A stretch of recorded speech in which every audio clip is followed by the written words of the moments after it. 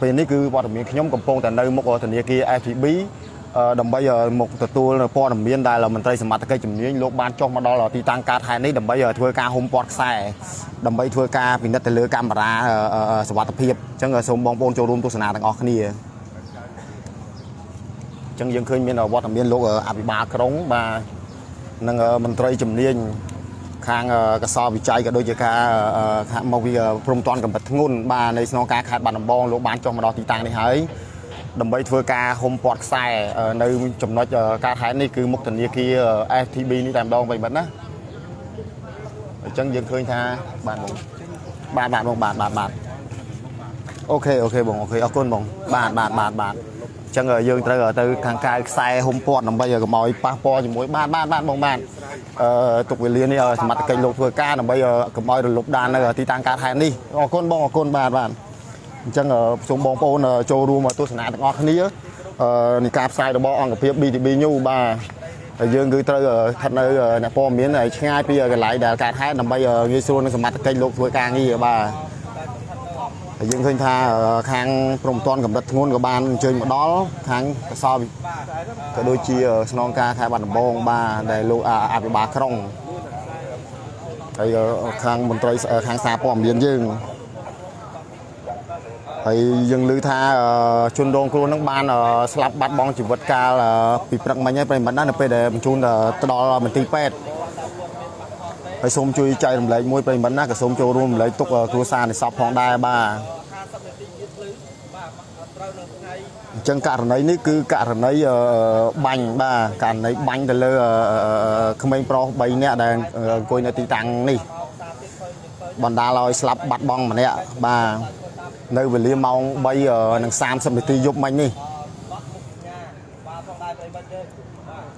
ហើយសមត្ថកិច្ចលោកកំពុងតែធ្វើការហុំព័ទ្ធខ្សែដើម្បីប្រមូលនៅផោះតាងដើម្បីតាមចាប់ជនដៃដល់បាទ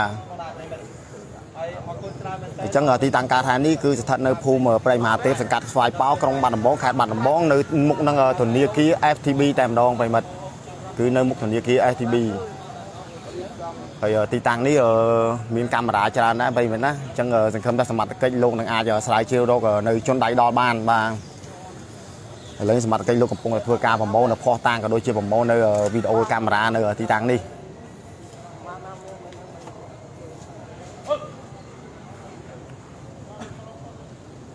ចឹងទីតាំងដែលការហាននេះគឺសមត្ថកិច្ចលោកកំពុងតែប្រមូលដានឲ្យប្រិមិត្តដើម្បីជាផោះតាងទុកស្រាវជ្រាវទៅលើជនដៃដល់ដែលបានបាញ់ទៅលើយុវជន3នាក់បានបណ្ដាលឲ្យស្លាប់បាត់បង់ជីវិតម្នាក់នៅពេលដែលបញ្ជូនទៅដល់មន្ទីរពេទ្យ ហើយយើងមើលទៅឃើញឈាមនៅខាងមុខនោះនៅកន្លែងបងសមត្ថកិច្ចឈរខាងនោះនៅគៀនឈាមហ្នឹងប្រិមិត្តណាដានឈាមប៉ុន្តែយើងអាចទៅចាប់បានទេណាមួយគឺសមត្ថកិច្ចលោកហុំព័ទ្ធខ្សែដើម្បីប្រមូលផោះតាងជុំវិញទីតាំងកើតហេតុនេះហើយសូមបញ្ជាក់ថាទីតាំងកើតហេតុនេះគឺស្ថិតនៅខាងត្បូងបាទខាងខាងខាងកើតស្ទឹងសង្កែគឺនៅខាងត្បូងស្ពានថ្មថ្មីដែលស្ថិតនៅភូមិព្រៃមហាទេពសង្កាត់ស្វាយប៉ោកក្រុងបាត់ដំបងខេត្តបាត់ដំបងដែលនៅចិត្តនឹងសាហេជ័យលីតែម្ដងប្រិមិត្ត ហើយសូមមកជួលចូលរួមចែករំលែកមួយប្រិមិត្តណាហើយក៏សូមចូលចូលរួមរំលែកទុកគ្រួសារនៃសពដែលបានស្លាប់បាត់បង់ជីវិតកាលពីព្រឹកមិញនេះនៅពេលដែលបញ្ជូនទៅដល់មន្ទីរពេទ្យដែលជនរងគ្រោះមានលបាក់ប្រហែលជា20ជាងប្រិមិត្តណាយើងមិនទាន់ដឹងថាតើគាត់ឈ្មោះអីទេមិនទាន់បានប្រមូលព័ត៌មានច្បាស់ទេនឹងអាប់ដេតនៅបន្ថែមទៀតនៅពេលថ្ងៃរសៀលនេះហើយសូមបញ្ជាក់ថាករណីនេះទៅតាមសាកសីនៅកន្លែងការថែបញ្ជាក់មក BTB News កាលពីព្រឹកមិញនេះ គឺជនដៃដល់បានមកបាញ់មួយសាហើយគឺបាញ់ចំនួន5គ្រាប់តែបាញ់ប្រឆិតជើងទេប៉ុន្តែគាត់មិនអស់ចិត្តក៏គាត់បានធ្វើដំណើរទៅទីតាំងខាងមុខស្ពានថ្មថ្មីហ្នឹងកាច់មកខាងក្រោយនៃផ្លូវលេខ3វិញវៀងមកខាងប្រឡោះផ្លូវនេះ FTB នេះប្រិមិត្តណាខាងហេចៃលីនេះមកឈប់នៅទីតាំងកន្លែងនេះរួចហើយបាញ់សម្ដៅពីហ្នឹងទៅចំណុចដែលជនរងគ្រោះបានទទួលនេះតាមការសាកសីដែលគាត់បាននៅទីតាំងនេះដែលផ្ដល់ព័ត៌មានឲ្យ BTB កាលពីព្រឹកមិញនេះប្រិមិត្តណា គឺគាត់បាញ់សម្ដៅទៅមនុស្សតែម្ដងចឹងជនដៃដល់ហ្នឹងគឺបើតាមយើងមើលទៅបាញ់ជាង10គ្រាប់ប្រិមិត្តណាដែលសមត្ថកិច្ចលោកបានប្រមូលសបកកទូការពីព្រឹកមិញវេលាម៉ោង3ជាងព្រឹកមិញហ្នឹងប្រិមិត្តហើយឥឡូវនេះសមត្ថកិច្ចលោកកំពុងតែចុះមកដើម្បីធ្វើការងារបន្តទៀតប្រមូលនៅផោះតាំងនឹងក៏ដូចជាប្រមូលអត្តសញ្ញាណនៃជនដៃដល់ដើម្បីធ្វើការស្រាវជ្រាវចាប់ជនដៃដល់ហហើយយើងឃើញថានៅទីតាំងនេះធនាគារនេះគឺមានកាមេរ៉ាគ្រប់ជ្រុងប្រិយមិត្តណាកាមេរ៉ាគ្រប់ជ្រុង មិនថានៅផ្ទះរបស់ប្រជាពលរដ្ឋទេមិនថានៅខាងនោះទេគឺកាមេរ៉ាគ្រប់ទាំងអស់ហើយកាមេរ៉ាធនាគាររបស់ធនាគារគឺច្បាស់ច្បាស់ណាស់ប្រិយមិត្តណាយើងអាចថាមើលឃើញពីពីពីនោះមកអញ្ចឹងឥឡូវមានតែការងាររបស់សមត្ថកិច្ចទេដែលលោកធ្វើការងារនេះបាទបាទគឺនៅខាងកើតស្ទឹងខាងខាងខាងខាងលិចស្ទឹងប្រិមិត្តខាងលិចស្ទឹងជាស្រ័យផ្លូវលេខ1ស្ថិតនៅលើផ្លូវលេខ1ហើយ ពេលពេលកើតហេតុនេះគឺនៅម៉ោង3:30នាទីយប់មិញទៀបភ្លឺហើយជនរងគ្រោះទៅបានបញ្ជូនមិត្តភ័ក្តិគាត់បញ្ជូនទៅមន្ទីរពេទ្យភ្លាមភ្លាមដែរប៉ុន្តែដោយរបួសធ្ងន់ពេកទើបបណ្ដាលឲ្យស្លាប់បាត់បង់ជីវិតនៅព្រឹកមិញនេះហើយខ្ញុំបានជាតិក៏ដូចជាអង្គភាព BTB News សូមចូលរួមលេខទុកគ្រួសារនៃសពផងហើយករណីនេះគឺដូចជាសាហាវណាស់ប្រិមិត្តណាគឺមានការបាញ់បោះឡើងអស់មួយចានគ្រាប់តែម្ដងប្រិមិត្តជាង10គ្រាប់ បាញ់5គ្រាប់មិនអស់ចិត្តវៀងមកតាមផ្លូវលេខ3មកបាញ់ថែមជាង10គ្រាប់ទៀតតាមការស័យការសាក់ស័យដែលនៅទីតាំងកើតហេតុនេះតែគាត់បានផ្ដល់ព័ត៌មានជូន BTB News កាលពីព្រឹកមិញនេះដែលខ្ញុំបានបានមក live ផ្ទាល់ហ្នឹងយើងឃើញថាករណីនេះសាហាវណាស់ប្រិមិត្តណា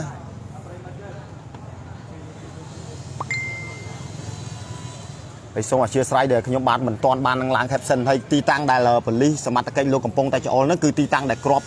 បាញ់ធ្លាយទៅលើដើមឈើនឹងនៅកម្ពស់1ម៉ែត្រជាងមួយនៅខាងក្រោមមួយ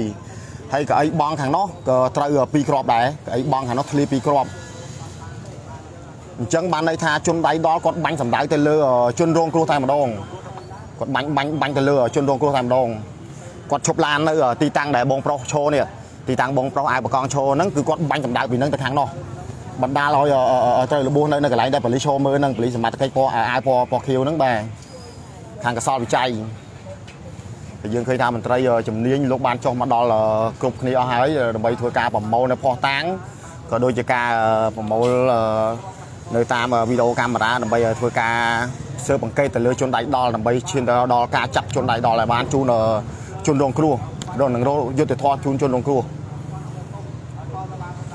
ហើយ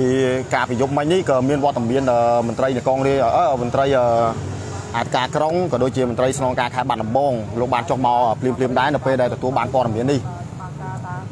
ឡាននឹងឡានតែគេតែគេនៅឡើយទេបាទឲ្យខ្លាចលេងទៅយកបានអឺដើរយុបាទពិតជាសាហាវណាបងនិយាយទៅសឹងតែក្របមកបងគឺគាត់បាញ់ឲ្យអស់មកបងហ្នឹងតែម្ដងវិញមិនណា មិនដឹងថាគំនុំអីទេប្រិមិត្តវាដូចជាឈានដល់ការបាញ់បោះបាញ់សម្ដៅទៅមនុស្សតែម្ដងប្រិមិត្តណា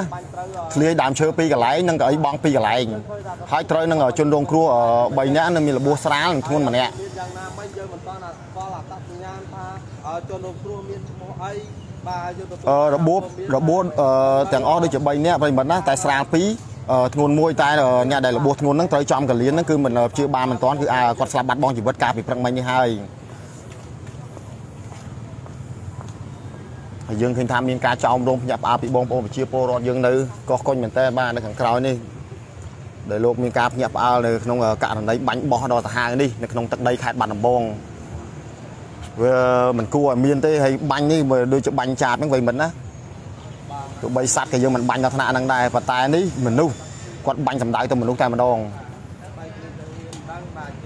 ហើយសមត្ថកិច្ចកំពុងតែស្រាវជ្រាវរនភ័ស្តុតាងដើម្បីឈានទៅដល់ការចាប់ជនតៃដល់ដើម្បីឲ្យបានបងប្អូនឪពុកម្ដាយជនរងគ្រោះបានទទួលនៅយុទ្ធធម៌នេះបាទបាទសូមអធិស្ឋានដល់ហើយសូមបញ្ជាក់ថាទីតាំងនេះគឺស្ថិតនៅខាងលិចស្ទឹងស្ថិតនៅផ្លូវលេខ1បាទដែលទល់នៅមុខធនាគារ FTB បាទនៅមុខធនាគារ STB បាទការផ្ទះអើបងប្អូនប្រជាពលរដ្ឋរួមទាំងមន្ត្រីរាជការបាទគ្រប់សន្តិក្នុងតែលោក ឥឡូវនេះសមត្ថកិច្ចលោកបានពាត់ខ្សែហើយដើម្បីប្រមូលនៅផោះតាងគ្រប់ជុងជ្រោយដើម្បីឈានដល់កដល់ការចាប់ជនដៃដល់បាទអញ្ចឹងយើងឃើញថាសមត្ថកិច្ចកំពុងដុតដៃដុតជើងហើយការប្រយុទ្ធមិញគាត់មកបានមកអញ្ជើញមកម្ដងហើយតែឥឡូវនេះគឺគាត់ត្រូវតែធ្វើការងារម្ដងទៀតដើម្បីនេះចឹងករណីនេះគឺសាហាវណាស់ប្រិមិត្តណាសូមបញ្ជាក់ថាគឺជាករណីបាញ់ទៅលើយុវជន3នាក់បណ្ដាលឲ្យស្លាប់បាត់បង់ជីវិត បើបណ្ដាលឲ្យរបួសធ្ងន់ហើយមិនបានបញ្ជូនទៅមន្ទីរពេទ្យក៏បានស្លាប់បាត់បង់ជីវិតនៅមន្ទីរពេទ្យចឹងយើងឃើញថាមានវត្តមានមន្ត្រីជំនាញដែលលោកកំពុងតែចូលមកពិនិត្យហើយបាទហើយករណីនេះសាហាវណាស់ប្រិមិត្តណាគឺសាហាវមែនទែនគឺបាញ់សម្ដៅទៅមនុស្សតែម្ដងទីតាំងដែលសមត្ថកិច្ចកំពុងតែអោនឈោងមើលនេះគឺជាទីតាំងដែលជនដៃដល់បានបាញ់ទៅជនរងគ្រោះដែលអង្គុយនៅលើបងខាងមុខហ្នឹង ដែលកន្លែងដែលសមត្ថកិច្ចដើរវ៉ាន់ហ្នឹងហើយបាញ់បញ្ចូលទៅមនុស្សជនរងគ្រោះទាំង3នាក់ហ្នឹងនេះទីតាំងនេះប្រិមិត្តណាហើយដើមឈើហ្នឹងធ្លុះនៅកម្ពស់1ម៉ែត្រជាងហ្នឹងត្រូវមួយគ្រាប់នៅខាងក្រោមហ្នឹងមួយគ្រាប់ហើយបងហ្នឹងត្រូវពីរគ្រាប់បងហ្នឹងប្រិមិត្តអញ្ចឹងទីតាំងដែលជនដៃដល់បាញ់ហើយជនដៃដល់គឺស្ថិតនៅទីតាំងនេះដោយតាមការបញ្ជាក់របស់សាក់សីនៅនៅកន្លែងកើតហេតុការប្រយុទ្ធមិញហ្នឹងគឺនៅទីតាំងនេះជាបងនេះជាម៉ូតូនេះប្រិមិត្តណាគាត់បាញ់សម្ដៅពីហ្នឹងបាញ់ទៅទៅខាងនោះបណ្ដាលឲ្យត្រូវយុវជន3នាក់ របួសស្រាល2របួសធ្ងន់ម្នាក់តែឥឡូវអ្នករបួសធ្ងន់ហ្នឹងគឺទទួលនៅបាត់បានស្លាប់បាត់បង់ជីវិតការពិព្រឹកមិញហើយប្រិមិត្តនៅពេលដែលបញ្ជូនទៅដល់មន្ទីរពេទ្យហើយខ្ញុំបាទសូមអធិស្ឋានផងរាល់ការអធិប្បាយណាលើសលួសមិនសមរម្យសូមប្រិមិត្តពុកម៉ែបងប្អូនអធិស្ឋានដល់ខ្ញុំបាទផងបាទហើយនៅរសៀលនេះអង្គភាព BTB News នឹងអាប់ដេតនៅព័ត៌មានបន្ថែមទៀតលម្អិតពីព័ត៌មាននេះដើម្បីបញ្ជាក់ពីអត្តសញ្ញាណនៃជនរងគ្រោះ ហើយសូមប្រិមិត្តពុកម៉ែបងប្អូនចូលរួមចែករំលែកមួយផងប្រិមិត្តណាដើម្បីឲ្យជ្រាបដល់សាច់ញាតិគាត់ផងចឹងសូមបញ្ជាក់ថាទីពេលវេលាកើតហេតុយប់មិញហ្នឹងគឺនៅវេលាម៉ោង3:30នាទីទៀបភ្លឺបាទហើយចំណុចកើតហេតុនេះគឺស្ថិតនៅខាងលិចស្ទឹងបាទស្ទឹងស្ទឹងសង្កែស្ថិតនៅផ្លូវលេខ1ដែលស្ថិតនៅភូមិព្រៃមហាទេពសង្កាត់ស្វាយប៉ោក្រុងបាត់ដំបងខេត្តបាត់ដំបង បាទចិត្តភ្លឺប្រិមិត្តពុកម៉ែបងប្អូនគឺម៉ោង3:30នាទីទៀបភ្លឺហើយយើងឃើញមានវត្តមានលោកអភិបាលនៃគណៈអភិបាលក្រុងបាត់ដំបងគឺលោកភេសិទ្ធិដែលសកម្មក្នុងការងារដែលលោកតែងតែចុះបកិបកិតនឹងប្រជាពលរដ្ឋគ្រប់ពេលវេលា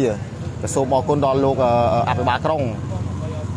ហើយលោកនឹងមន្ត្រីជំនាញកំពុងតែធ្វើការងារដើម្បីប្រមូលដានស៊ើបអង្កេតទៅឈានទៅដល់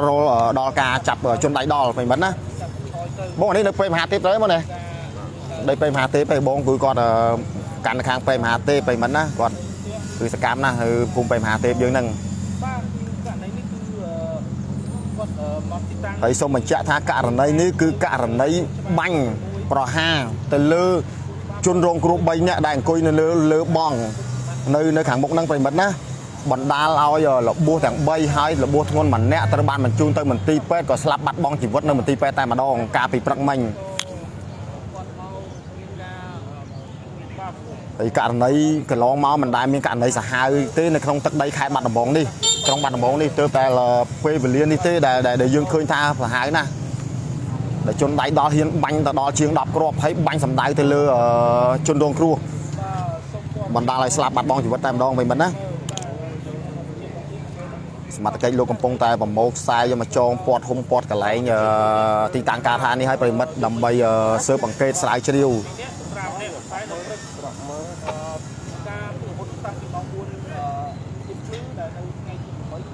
ចឹងមិនគួរទេបើទោះជាចំនួនរឿងអ្វីក៏ដោយប្រិយមិត្តណាក៏មិនដល់តែឈានការបាញ់បោះដែរសូម្បីតែសមត្ថកិច្ចលោកចាប់បានចោលប្លន់ក៏លោកមិនបានទៅធ្វើដល់ការងារនឹងដែរអញ្ចឹងគាត់សាហាវណាស់គាត់បាញ់ទៅលើជនធោត្រង់ដែលជាប្រជាពលរដ្ឋហើយយើងមិនដឹងថារឿងរ៉ាវនេះគឺជាករណីអ្វីគេគឺរឿងរ៉ាវអីទេប្រិមិត្តណាដែលឈានដល់ការបាញ់បហាយ៉ាងសាហាវបែបនេះដែលមើលសម្បកកទូទៅជាង10គ្រាប់ប្រិមិត្តណាបាញ់ទាំងអស់តែម្ដងមកបង ហើយភពព័ត៌មាននៅកន្លែងការថែព្រឹកមិញហ្នឹងបានបញ្ជាក់ថាជនដៃដល់បានបាញ់5គ្រាប់ហើយសម្ដៅទៅជនរងគ្រោះបាញ់ប្រឆិតជើងប៉ុន្តែមិនតមិនមិនត្រូវទេក៏មិនអស់ចិត្តក៏បានជិះវៀងទៅតាមផ្លូវលេខ1កាច់មកតាមផ្លូវលេខ3វៀងមកតាមមុខហេឆៃលីហ្នឹង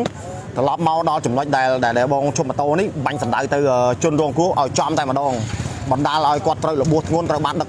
គ្នាគាត់ដឹកទៅមន្ទីរពេទ្យធំកាលពីព្រឹកមិញនេះ ហើយក៏បានស្លាប់បាត់បង់ជីវិតកាលពីព្រឹកមិញម៉ោងដូចជា6ជាងប្រិមិត្តណាបានស្លាប់បាត់បង់ជីវិតហើយខ្ញុំបាទក៏ដោយអង្គភាព BTB News សូមចូលរួមរំលែកទុកនៅគ្រួសារនៃសពផងហើយសមត្ថកិច្ចនឹងស្រាវជ្រាវបន្តទៀតដើម្បីឈានដល់ការចាប់ជនដៃដល់ដើម្បីយកមកផ្ដន់ទោសទៅតាមច្បាប់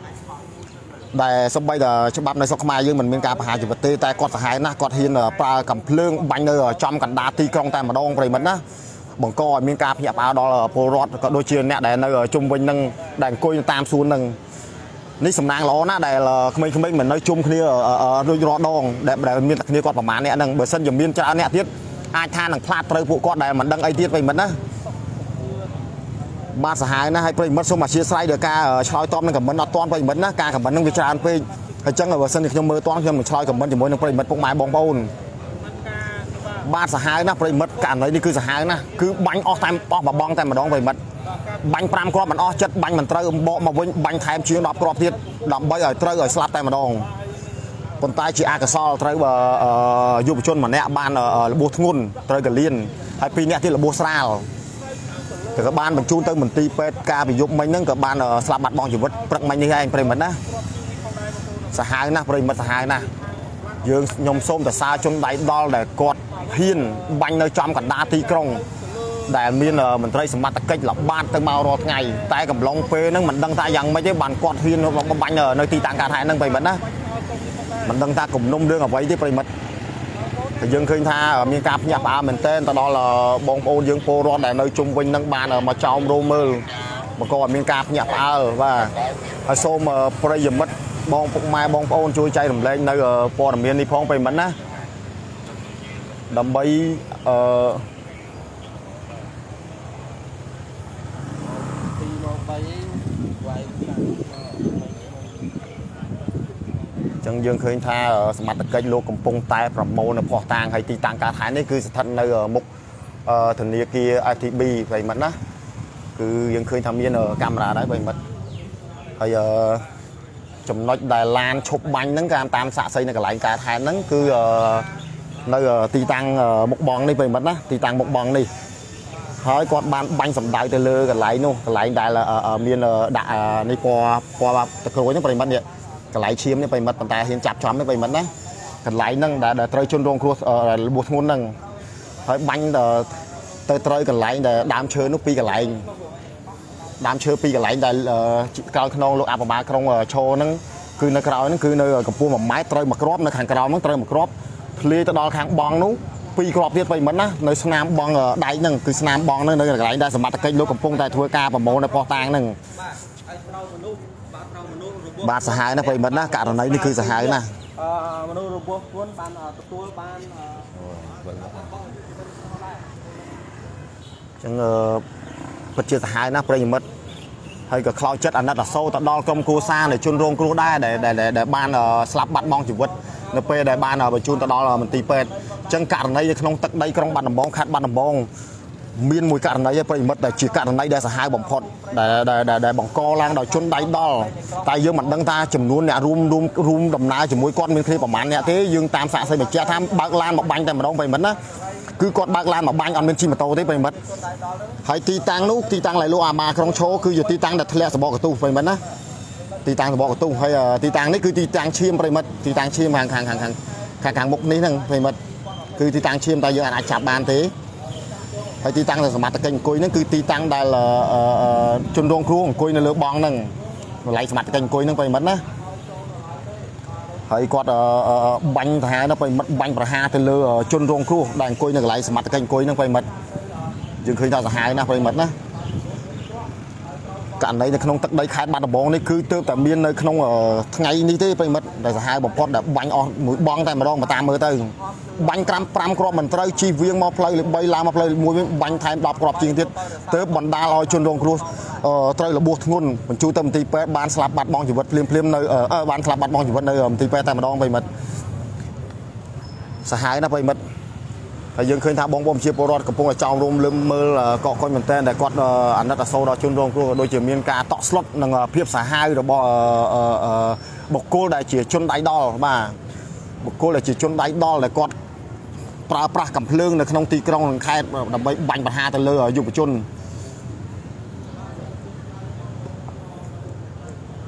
ចឹងយើងឃើញថាសមត្ថកិច្ចកំពុងតែប្រមូលនៅភ័ស្តុតាងទៅមិនណាអឺ ឡានអត់ទាន់ដឹងទេប្រិមិត្តប៉ុន្តែទីតាំងនេះមានកាមេរ៉ាអាចថាមើលឃើញដែរអញ្ចឹងមានតែសមត្ថកិច្ចទេដែលលោកធ្វើការឆែកនៅកាមេរ៉ានេះអាចមើលទៅឃើញថាឡានហ្នឹងឈប់នៅជាម៉ាអីម៉ាអីតែតាមសាកសីនៅកន្លែងការហេតុដែលគាត់នៅទីតាំងហ្នឹងបានផ្ដល់ព័ត៌មានជូន BTB កាលពីព្រឹកមិញយប់មិញហ្នឹងគឺឡានពណ៌ខ្មៅប្រិមិត្តណាប៉ុន្តែយើងមិនទាន់ច្បាស់ទេគឺគាត់បញ្ជាក់ថាឡានខ្មៅគឺបើកឡានមកបាញ់ហ្មងប្រិមិត្តមិនមែនជិះម៉ូតូណាបើកឡានមកបាញ់ករណីនេះសាហាវណាប្រិមិត្ត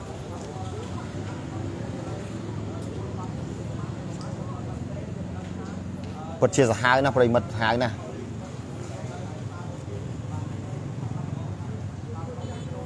ហើយទីតាំងកើតហេតុនេះគឺស្ថិតនៅផ្លូវលេខ1ចិត្តស្ពានថ្មថ្មីប្រិមិត្តស្ថិតនៅភូមិព្រៃមហាទេពសង្កាត់ស្វាយប៉ោក្រុងបាត់ដំបងខេត្តបាត់ដំបងបានមិនគួរទេប្រិមិត្តណាមិនគួរសោះមិនគួរថាមានរឿងចឹងកើតឡើងហើយអ្នកដែលរងទុកសោកបំផុតគឺគ្រួសារនៃសពដែលបានបានបាត់បង់កូនជាទីស្រឡាញ់ ដែលយើងតាមមើលរូបភាពដែលគេសិនឲ្យ BTB ញូការពីព្រឹកមិញគឺរំធត់ចិត្តណាគឺអាណិតដល់ពួកគាត់មែនទែនប្រិមិត្តណាដែលគាត់មិនគួរណារងនៅរឿងរឿងបែបនេះទេហើយជនអឺគ្រួសារនៃជនរងគ្រោះបានខលមកខាង BTB ញូដែរថានឹងសង្ឃឹមថាសមត្ថកិច្ចលោកនឹងស្រាវជ្រាវដើម្បីចាត់ជនដៃដល់និងរកយុត្តិធម៌ជូនកូនប្រុសគាត់ឲ្យតតែបាន ប្រទេសមានច្បាប់អញ្ចឹងយើងមិនអាចធ្វើអ្វីទៅតាមការប្រើហិង្សាការបាញ់បោះសេរីឲ្យបានទេប្រិមិត្តណាសម្បីតែច្បាប់ប៉ូលីសក៏គាត់មិនអាចទៅបាញ់ចោលប្លន់ដែលកំពុងតែនេះដែរដែលមានអាវុធដែរហើយចុះនេះគាត់គឺជាជនរងគ្រោះជាជនស្លូតត្រង់ជាប្រជាពលរដ្ឋហេតុអីបានត្រូវបាញ់ប្រហារទៅលើគាត់បើទោះជាគាត់ខុសប៉ុណ្ណាក៏ដោយបាញ់នឹងគឺបាញ់សម្ដៅទៅលើមនុស្សតែម្ដងណាប្រិមិត្ត បាញ់5គ្រាប់មិនត្រូវទេអត់អស់ចិត្តបកមកបាញ់ជាង10គ្រាប់ទៀតទៅបណ្ដាលឲ្យគាត់ត្រូវរបួសធ្ងន់និងស្រាលចំនួន3នាក់ហើយត្រូវបានស្លាប់បាត់បង់ជីវិតម្នាក់ហើយប្រិមិត្តណាហើយខ្ញុំអាណិតអាសូរដល់គ្រូសានៃសពមែនតែនដែលគាត់យំបោកខ្លួនដែលបានបាត់បង់នៅកូនប្រុសជាទីស្រឡាញ់ដែលមានអាយុលបាក់ជាង20ឆ្នាំប្រិមិត្តណា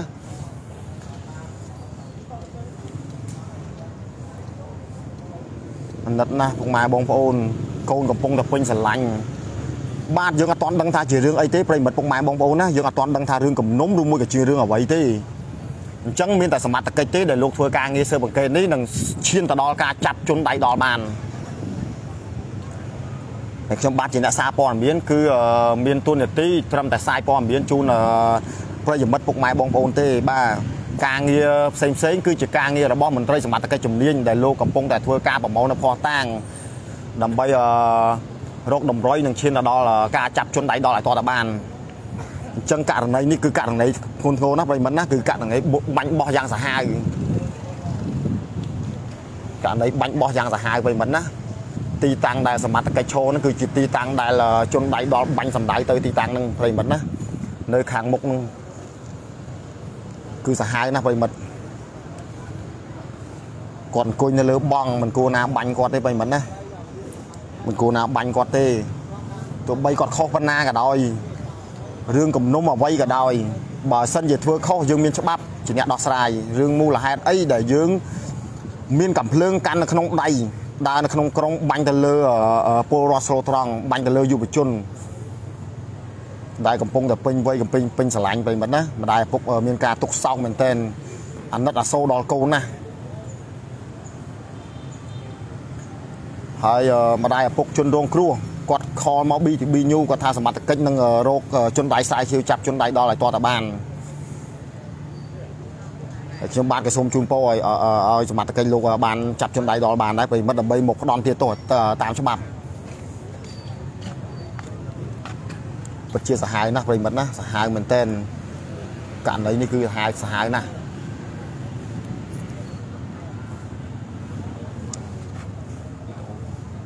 ខ្ញុំអត់បាញ់ទេបងបាញ់ទេបងវីដេអូវីដេអូសិនទេបងរៀបរាប់ម្ដងអត់រៀបរាប់ម្ដងអូនិយាយអត់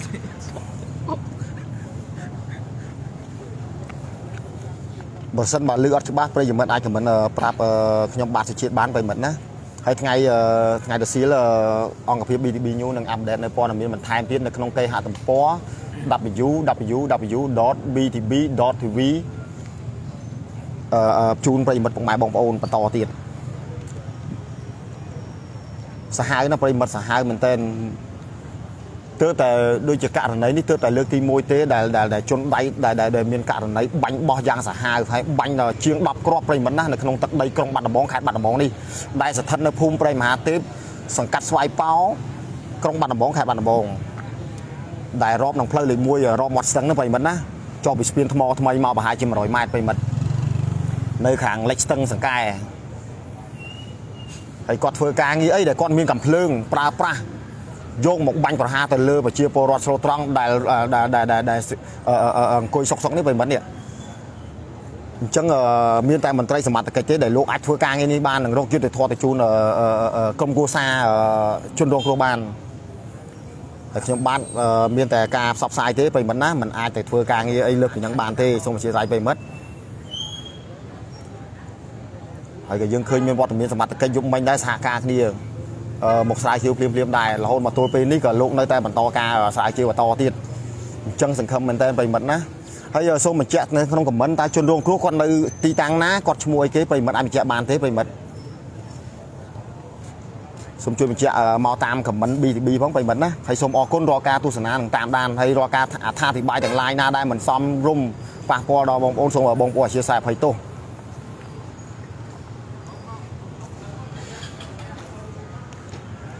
ចឹងយើងឃើញសមត្ថឃើញថាសមត្ថកិច្ចកំពុងតែដុតដៃដុតជើងហើយដើរស្រាវជ្រាវមើលហើយគេលោមានកក្របសម្បកកទុះលើសពីនឹងទៀតតែការប្រមូលយកមិញហ្នឹងគឺមានជាង10គ្រាប់ប្រិមិត្តណាមានជាង10គ្រាប់ នេះទីតាំងដែលសមត្ថកិច្ចបានដាក់នេះគឺសម្បកកទុះកន្លែងសម្បកកទុះធ្លាក់ប្រិមិត្តណាគឺកន្លែងដៅនេះហើយទីតាំងដែលឡានចតបាញ់គឺទីតាំងនេះប្រិមិត្តកន្លែងបងអាវខៀវបងសមត្ថកិច្ចអាវខៀវពីរនាក់ឈរបាញ់សម្ដៅទៅបងខាងមុខនោះនៅក្រោយខ្នងលោកអភិបាលក្រុងបាញ់សម្ដៅទៅបងនោះប្រិមិត្តណានោះហើយត្រូវដើមឈើ2គ្រាប់និងត្រូវចំបងនឹង2គ្រាប់បណ្ដាឲ្យធ្លុះយើងមើលឃើញឃើញសសនៅក្រោយបលីហ្នឹងគឺធ្លុះឲ្យប្រិមិត្ត ហើយដែលបាញ់ត្រូវជនរងគ្រោះគឺទីតាំងដែលសមត្ថកិច្ចដាក់ដាក់ដាក់ដាក់ដាក់ដល់100នេះគឺស្លាកលេខគឺលេខ1នេះគឺទីតាំងដែលបាញ់ត្រូវជនរងគ្រោះហើយមានឈាមហ្នឹងប្រិមិត្តគឺហូរមកនឹងទីតាំងដែលបាញ់ត្រូវជនរងគ្រោះសាហាវណាស់ប្រិមិត្តណាបើកឡានមកបាញ់ប្រហារតែម្ដងយើងមិនដឹងថាជនដៃដល់គាត់ជាអ្នកណាជាអ្នកណាធ្វើការអ្វីទេអញ្ចឹងយើងអត់តន់ដឹងទេសមត្ថកិច្ចកំពុងតែធ្វើការស្រាវជ្រាវឲ្យប្រិមិត្តណាយើងឃើញថានៅមុខទីតាំងនេះក៏មានកាមេរ៉ាដែរប្រិមិត្តនៅមុខទីតាំងនៃធនាគារនេះគឺមានកាមេរ៉ាច្រើនណាស់គ្រប់ជុំជ្រោយប្រិមិត្តណា គឺគ្រប់ជុំជ្រោយ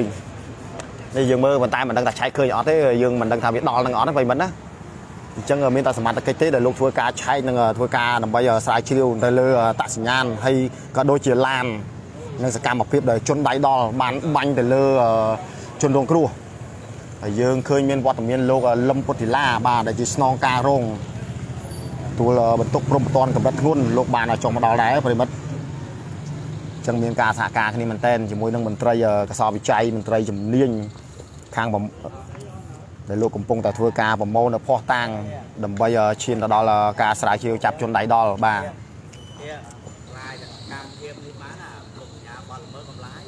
បាទបាទបាទបាទបងបាទបាទបងបាទអត់ទេបងអត់ទេបាទបាទបាទអត់ទេបងអត់ទេយើងយើងតែសកម្មភាពរបស់សមាជិកដែលលោកធ្វើការទេបងបាទបាទបាទបង យើងឃើញថាសមាជិកលោកបានពាត់ខ្សែសវត្ថភាពដើម្បីធ្វើការស្រាវជ្រាវឲ្យប្រិមិត្តណាដើម្បីប្រមូលនៅដានដែលជនដៃដល់បានបាញ់ប្រហារទៅលើជនរងគ្រោះដែលជាយុវជន3នាក់ហ្នឹងបាទបានស្លាប់បាត់បង់ជីវិតដល់ពេលដែលបញ្ជូនទៅដល់មន្ទីរពេទ្យ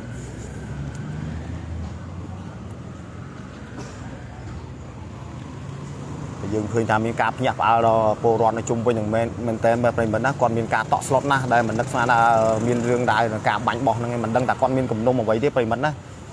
បានឈានទៅដល់ការបាញ់ប្រហារ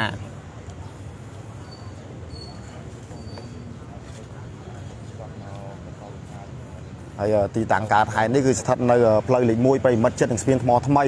ដែលស្ថិតនៅភូមិព្រែកមហាទេពសង្កាត់ស្វាយប៉ោក្រុងបាត់ដំបងខេត្តបាត់ដំបង ហើយខ្ញុំបាននឹងឡើង caption នៅពេលបន្តទៀតប្រិមិត្តណាហើយសូមអរគុណដល់ប្រិយមិត្តពុកម៉ែបងប្អូនដែលតែងតែគ្រប់គ្រងរាល់ការផ្សាយរបស់អង្គភាព BTB News ហើយក៏សូមអរគុណសម្រាប់ការដែលជួយ like ជួយ share ដើម្បីកម្លាំងចិត្តដល់ខ្ញុំបាទសុជាតិក៏ដូចជាអង្គភាព BTB News ទាំងអស់បាទចឹងសមត្ថកិច្ចកំពុងតែប្រមូលនៅដាននេះប្រិមិត្តណាប្រមូលតែកំពុងប្រមូលដានហើយ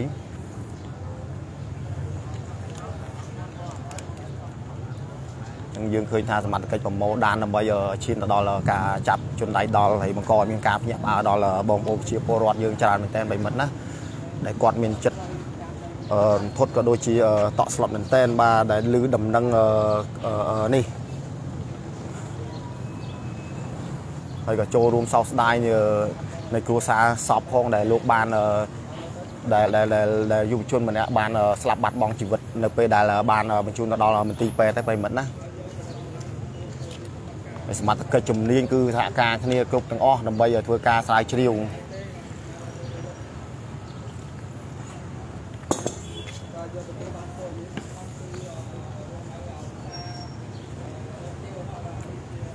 នេះគឺជាទីតាំងកើតហេតុបាទដែលជនដៃដល់បានឈប់ឡានបាញ់ទៅលើបាញ់ប្រហារទៅលើយុវជន3នាក់ដែលអង្គុយនៅលើបងឡៃសមត្ថកិច្ចអង្គុយនឹងបីមិនណា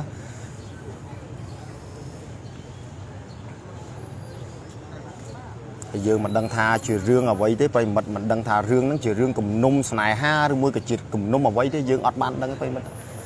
នឹងជារឿងតោះខ្លួនរបស់គាត់ប៉ុន្តែមិនគួរណាដែលធ្វើឲ្យមានការបាញ់បោះដល់ពួកគាត់ទេបាទព្រោះប្រទេសយើងមានច្បាប់កាលណាអ្នកណាប្រព្រឹត្តខុសអ្នកនឹងត្រូវទទួលខុសត្រូវចំពោះមុខច្បាប់មិនមែនយើងយកកំភ្លើងមកបាញ់គេតាមចិត្តទេអញ្ចឹងខ្ញុំគិតថាសមត្ថកិច្ចស្រាវជ្រាវប៉ុណ្ណេះហើយជនដៃដល់ក៏មិនរួចខ្លួនដែរមិនរួចខ្លួនទេប្រិមិត្តណា ទោះបីរត់ទៅដល់ទីណាក៏ដោយត្រឡប់មកវិញក៏ត្រូវតែជាប់ដែរលើសមត្ថកិច្ចលោកកំពុងតែធ្វើការឆែកនៅកាមេរ៉ាដើម្បីប្រមូលភស្តុតាងប្រិមិត្តណាចឹងសមត្ថកិច្ចកំពុងតែធ្វើការប្រមូលឲ្យប្រិមិត្តអាចនឹងមានសង្ឃឹមច្រើនក្នុងការស្រាវជ្រាវចាប់ជនដៃដល់ប្រិមិត្តហើយសូមបញ្ជាក់ថាករណីនេះគឺករណីអឺអ្នកបើកឡានមិនដឹងថារួមដំណើរគ្នាប្រមាណអ្នកទេបើកឡានមកដល់ទីតាំងនេះ ឈប់ឡានបាញ់5គ្រាប់ទៅលើជនរងគ្រោះតែមិនត្រូវលើកទី1លើកទី2ក៏បកឡានតាមផ្លូវលេខ3វៀងមកវិញបាញ់ថែមជាង10គ្រាប់ទៀតទើបត្រូវជនរងគ្រោះបណ្ដាលឲ្យរបួសធ្ងន់ម្នាក់និងរបួសស្រាល2នាក់ឥឡូវនេះជនរងគ្រោះដែលរបួសធ្ងន់ហ្នឹងត្រូវបានស្លាប់បាត់បង់ជីវិតកាលពីព្រឹកមិញម៉ោង6ប្រិមិត្តណាជនរងគ្រោះបានស្លាប់បាត់បង់ជីវិតម្នាក់ហើយប្រិមិត្ត ហើយករណីនេះសាហាវណាស់ប្រិមិត្តណាករណីនេះសាហាវមែនតើបើកឡានមកបាញ់បហាតែម្ដងប្រិមិត្តណា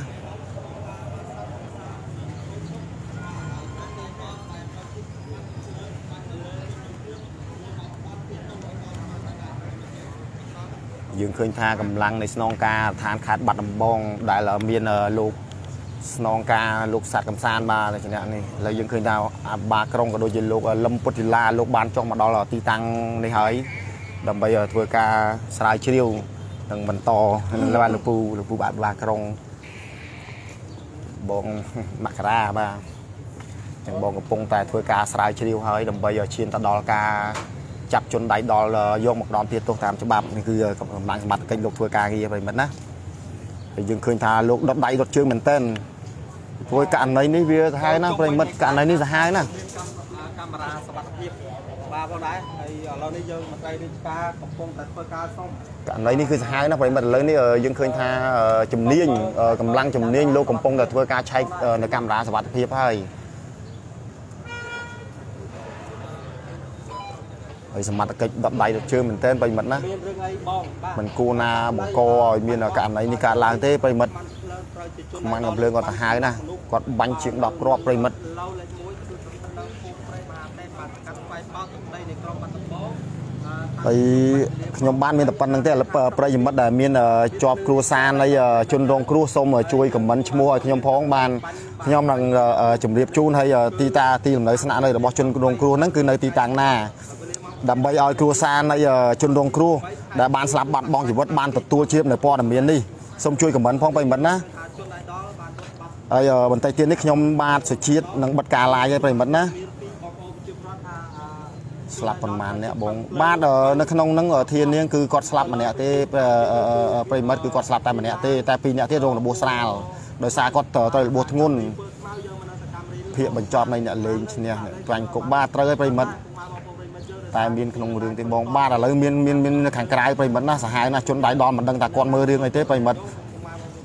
បាត់ដំបងបាទនៅខេត្តបាត់ដំបងបងខេត្តបាត់ដំបងគឺស្ថិតនៅផ្លូវលេខ1ប្រិមិត្តណាចិត្តស្ពានថ្មថ្មី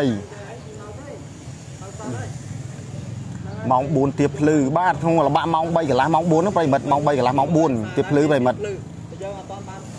បានអត់ដឹងបាទស្លាប់មួយប្រិមិត្តណាការពិព្រឹកមិញនេះនៅពេលដែលបញ្ជូនទៅដល់មន្ទីរពេទ្យហើយករណីបាញ់បោះមានអង្គគ្រូមែនហ្នឹងសាហាវមានពណ៌បងអឺពលមានបងមានអឺដល់10ទ្រាប់ជាងនោះមែនបានសា10ទ្រាប់ជាងព័ត៌មានបងមិនយើងមិនតិចទេណា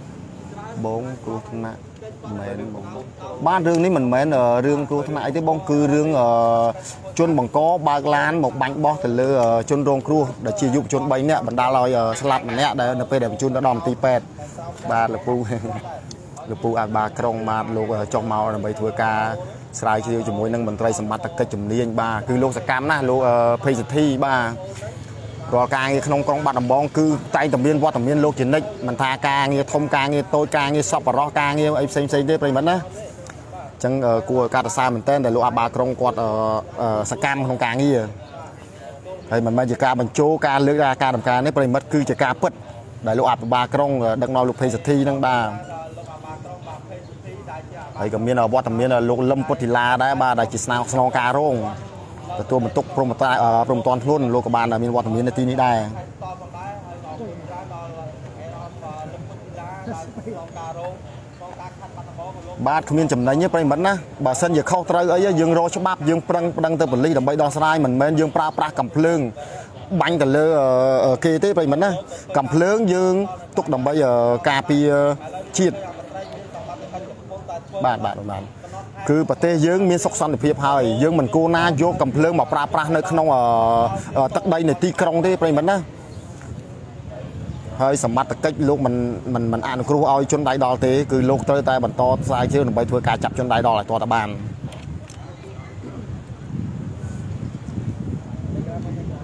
បាទ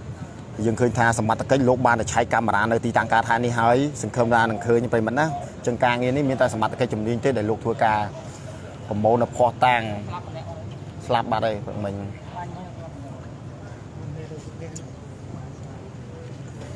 ណាណាម្ដាយសាំណាណាម្ដាយជនលោកហ្នឹងណានៅកន្លែងគេណាស្អីណានៅណានៅណានៅអីគេបោះចូលគោរពបើតាមទៅសភាពម្ដាយល្អចង់សភាពីរពីរនាក់ទៀតដែលដែលរួមដំណើរមួយគាត់ហ៎ពីរនាក់នៅណាវាពូនោះខ្ញុំទៅពេលគាត់មិញហើយនោះ ពូសំសុងហ្នឹងហ៎នៅកាត់ហេតុហើយហើយហើយប៉ុន្តែយើងចង់បានពីពីពីគ្នាគាត់ពីរនាក់ទៀតបាញ់មិត្តគ្នាឯងបានមិនដឹងថាយ៉ាងណាទេពេលមិនណាយើងមិនដឹងថាអឺអឺគាត់ជាអ្នកណានៅខាងណាទេហើយការទទួលព័ត៌មានគឺបានតែប៉ុណ្្នឹងទេពេលមិនណាគឺមើលអត់បើលើចិត្តមើលបាទអឺគឺมันអាចទេពេលមិនណាគឺយើងមើលទៅករណីនេះគឺករណីសាហាវណាពេលមិនគឺករណីសាហាវណា គឺបាញ់បោះដល់ទៅជាង10គ្រាប់ប្រិយមិត្តយើងមិនដឹងថារឿងអីទេប៉ុន្តែអឺតាមមើលទៅជនរងគ្រោះគាត់អង្គុយនៅលើបងហើយជនបង្កបើកឡានមកបាញ់5គ្រាប់បើកឡានមកបាញ់5គ្រាប់មិនអស់ចិត្តមិនត្រូវបកមកមកជុំទៀតឡើងមកនឹងបាញ់ឲ្យត្រូវតែម្ដងប្រិយមិត្តណាបាញ់ឲ្យត្រូវតែម្ដងយើងឃើញថាធ្លុះដើមឈើពីរកន្លែងនិងធ្លុះកៅអីបងពីរកន្លែងទៀតប្រិយមិត្តដោយខាងអង្គភាព BTB New បានបង្ហោះការពីព្រឹកមិញនេះ បាទសូមអរគុណដល់មន្ត្រីរាជការនៃទឹកដីនៃខេត្តបាត់ដំបងមូលស្នងការខេត្តបាត់ដំបងនិងការក្រុងខេត្តបាត់ដំបងនឹងធ្វើការវិមុខបាទរលជនដៃដល់ដែលត្រូវជាប្រមាណកំភ្លើងអឺនេះ ហើយប្រិមិត្តអាចខមមិនប្រាប់ពីឈ្មោះរបស់ជនរងគ្រោះបានប្រិមិត្តណាអាចខមមិនចូលមកបានខ្ញុំបាននឹងឆ្លងឆ្លើយដោយសារខ្ញុំមកធ្វើការអត្ថាធិប្បាយមកច្រើនពេកហើយហើយបើសិនជាឆ្ងល់អីអាចខមមិនសួរខ្ញុំបាទជាតិបានប្រិមិត្តហើយសូមបញ្ជាក់ថាករណីនេះគឺជាករណីបាញ់ប្រហារអឺជនបង្កបើកឡានមិនដឹងថាចំនួនប្រមាណគ្រឿងទេប្រិមិត្តបើកឡានមិនដឹងថារួមដំណាក់រួមដំណើរគ្នាប្រមាណអ្នកទៀតទេយកដឹង មកឈប់នៅទីតាំងហ្នឹងដើម្បីបាញ់ទៅជនរងគ្រោះដែលជាយុវជន3នាក់នៅអង្គុយលើបងហ្នឹងបណ្ដាលឲ្យរបួសធ្ងន់ម្នាក់និងរបួសស្រាល2នាក់ហើយរបួសបងអូនប្រុសដែលរបួសធ្ងន់ហ្នឹងគឺបានស្លាប់បាត់បង់ជីវិតនៅទីតាំងកើតហេតុនេះហើយប្រិមិត្តណាគាត់បានស្លាប់បាត់បង់ជីវិតកាលពីព្រឹកមិញនេះហើយខ្ញុំបាទជាជាតិក៏ដូចជាអង្គភាព BTB News សូមចូលរួមរំលែកទុកគ្រួសារនៃបងអូនប្រុសផងបាទដែលគាត់មានទុកដល់ក្រៀមក្រំហើយដែលទទួលរងនៅរឿងបែបនេះ ហើយសមត្ថកិច្ចក៏មិនអនុគ្រោះដល់ជនដៃដល់ដែរដែរអញ្ចឹងសមត្ថកិច្ចគុំកំពុងតែធ្វើការប្រមូលនៅផុសតាងដើម្បីឲ្យឈានទៅដល់ការអឺចាប់ខ្លួនជនបង្កបាទជនហើយយើងឃើញមានវត្តមានអឺលោកអភិបាលក្រុងគឺលោកភេងសិទ្ធីបាទក៏ដូចជាលោកអឺលឹមពុទ្ធធីឡាដែលជាស្នងការរង និងអឺមន្ត្រីជំនាញផ្សេងផ្សេងៗទៀតដែលអឺសហការគ្នាមកទីតាំងនេះដើម្បីធ្វើការប្រមូលផោះតាំងចឹងសាហាវណាស់ប្រិមិត្តណាបាត់ដំបងកន្លងមកអត់មានទេទើបតែមាននៅក្នុងថ្ងៃនេះទេប្រិមិត្តសាហាវណាស់ទើបតែមាននៅក្នុងអឺយប់មិញនេះម៉ោង3ទៀបភ្លឺ3កន្លះទៀបភ្លឺប្រិមិត្ត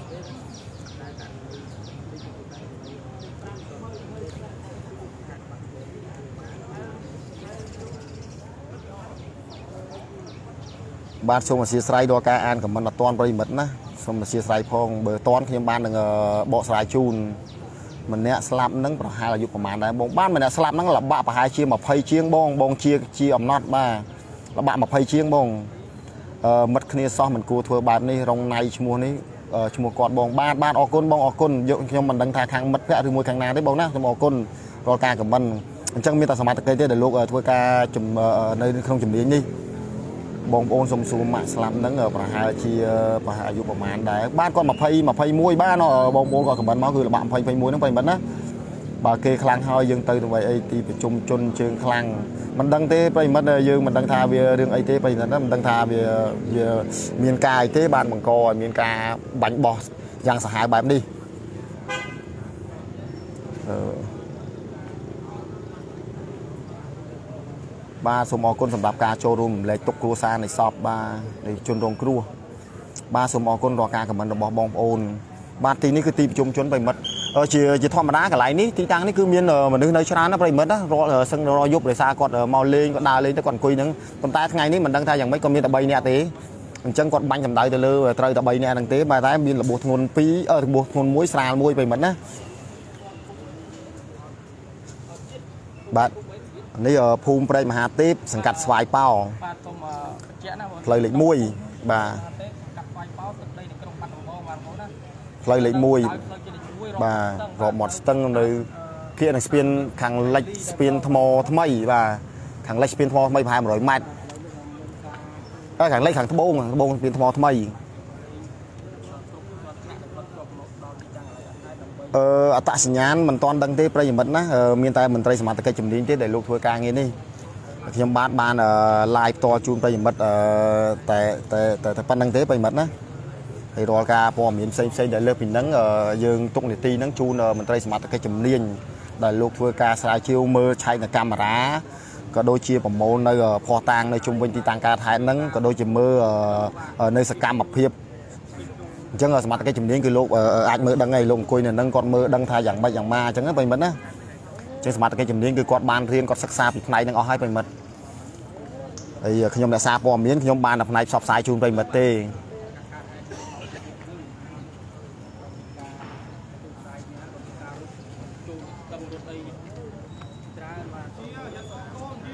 ហ្នឹងហើយបិទលើហើយបិទលើបងប្អូនមើលច្រើនអត់ចង់ចង់ហ៊ានបិទណែមើល ឥឡូវចង់ស្អកកឲ្យប្រិមិត្តនៅតែបន្តការមើលទៀតខ្ញុំបាទមិនតន់ចង់បិទការ live ទេ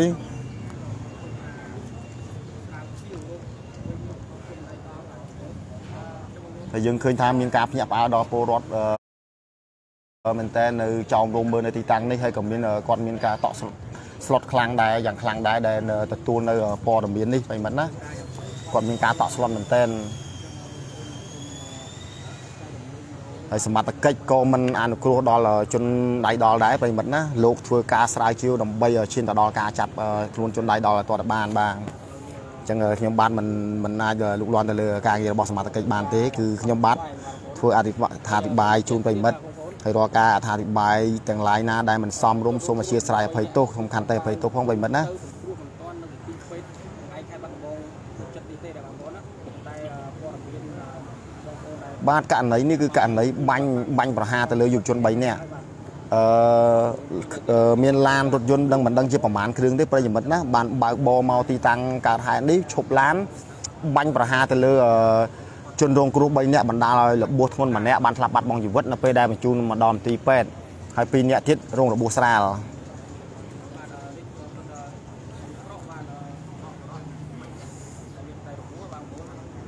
យយើងធ្វើឃើញថាសមត្ថកិច្ចលោកហ៊ុំពាត់ខ្សែដើម្បីឲ្យធ្វើការស្រាវជ្រាវប្រមូលនៅផោះតាងឲ្យប្រិមិត្តណាដើម្បីឲ្យឈានទៅដល់ការចាប់ខ្លួនបាទសង្ឃឹមដូចបងអញ្ចឹងគឺគឺចាប់ជនដៃដល់ឲ្យបានគឺសមត្ថកិច្ចគាត់ជំនាញហ្នឹងប្រិមិត្តណាគឺมันអាចកិច្ចនារួចទេហើយទីតាំងនេះគឺអឺនៅរមមាត់ស្ទឹងគឺនៅមុខធនាគារ FTB តែម្ដងប្រិមិត្តណាហើយនៅមុខនឹងអឺធនាគារកាថេ United បាទ នៅផ្លូវលេខ1នៅចិត្តនឹងអឺវេទិកាយើងតែម្ដងបិមិត្តហើយជនដៃដល់គាត់ពិតជាសាហាវណាស់បិមិត្តណាដែលគាត់ហ៊ានបាញ់ប្រហារចំនួនជាង10គ្រាប់ទៅលើយុវជន3នាក់គាត់សាហាវណាស់ហើយយើងមិនដឹងថាគាត់ធ្វើការងារអ្វីទេបិមិត្តណាទើបគាត់មានកំភ្លើងប៉ុន្តែបើសមត្ថកិច្ចគាត់មិនអញ្ចឹងទេគឺគាត់មានការហាត់រៀនប្រិមិត្តគឺគាត់មិនអាចចេះតែប្រើកំភ្លើងប្រេះផ្ដាស់បានទេក៏ដូចជាទាហានគេមានវិន័យមានអីបែបបត់គេត្រឹមត្រូវណាប្រិមិត្ត តែយើងមិនដឹងថាជនបង្កហ្នឹងគាត់ជាអ្វីទេដែលគាត់ទៅធ្វើការបាញ់បហាទៅលើអឺពលរដ្ឋស្រូត្រង់យើងមិនដឹងថាយ៉ាងណាទេប្រិមិត្តណាអឺស្លាប់ម្នាក់បងស្លាប់ម្នាក់របួសធ្ងន់អឺរបួសស្រាល2នាក់អឺស្លាប់ហ្នឹងដោយសារគាត់របួសធ្ងន់ពេកប្រិមិត្តណាត្រូវចំអឺកលៀន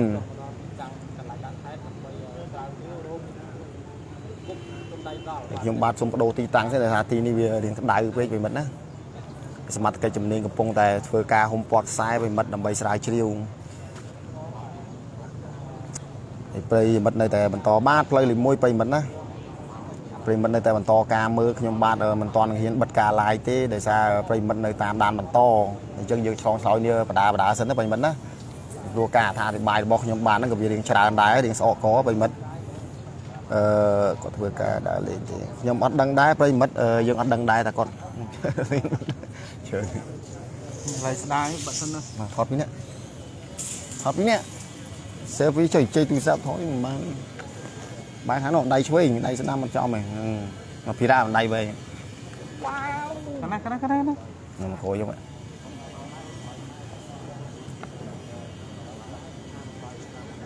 ពេញដេក